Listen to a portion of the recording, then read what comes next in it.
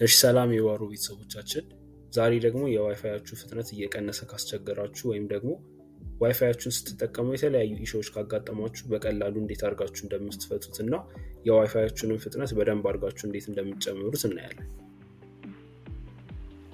በመጀመሪያ ወደ search bar ኣችን መጥተን run ብለን search እናደርጋለን። ከዛም ከላይ ያለችውን run የምትለዋን እንከፍታታለን።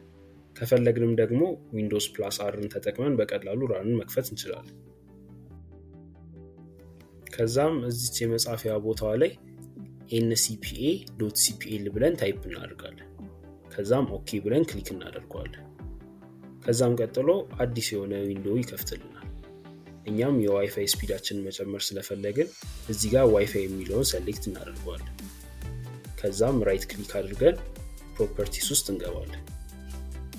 ከዛም እዚህ ጋር የሚታየውን internet protocol version four ወይም IPv four የሚለውን እንመርጠዋለን።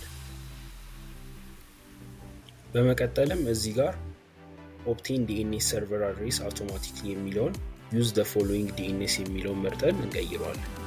ከዛም እኛ የምናስገባለትን አዲስ DNS server address እንዲጠቀም እናደርገዋለን ማለት ነው። ከዛም እዚህ ጋር preferred DNS server የሚለውን one dot one dot one dot one አድርገን እንቀይረዋለን።